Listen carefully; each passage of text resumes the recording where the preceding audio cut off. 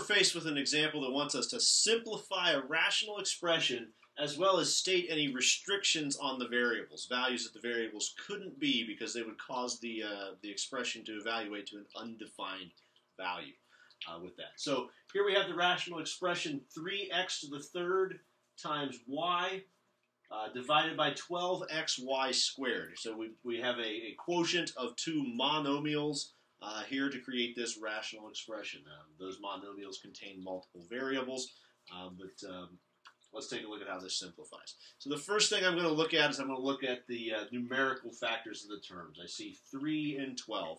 And I say, okay, I can simplify the fraction 3 twelfths.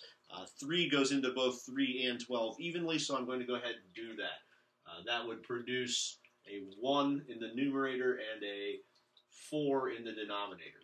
I don't need to put the 1 in the numerator unless, in fact, it ends up being the only thing left in the numerator. Then I would need to put it there to kind of hold the place and indicate that that is the numerator uh, of this.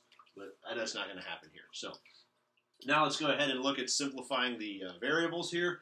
Uh, if I have x to the third over x, like that, just using some exponent rules from Algebra 1, you subtract their exponents. So uh, I have x to the third over x. I have two more x's on top than I do on the bottom. So that would leave me with x squared, like that. And then looking at the y's, I can see I have more y's in the denominator, so that's where the y is going to end up. How many more y's do I have in the denominator? Well, I have one uh, more factor of y in the denominator. This one has an exponent of 2, that one has an exponent of 1. If I subtract them, 2 minus 1 will leave me with 1. Where did I have more of them? That was in the denominator, so that's where that should go.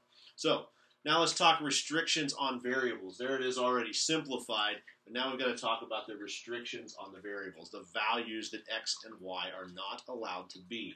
Um, so if I look back at the original function here, and I say, well, what could x not be because it would make this entire denominator equal to 0?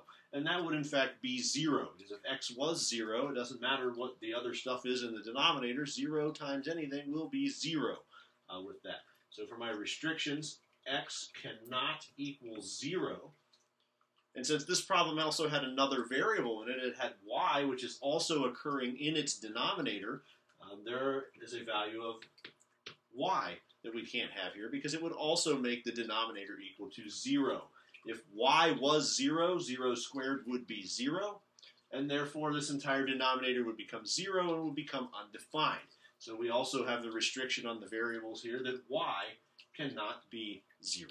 So we've done both things that the directions have asked us to do. We've simplified this rational expression, and we've stated our restrictions on the variables that x cannot be 0 and y also cannot be 0.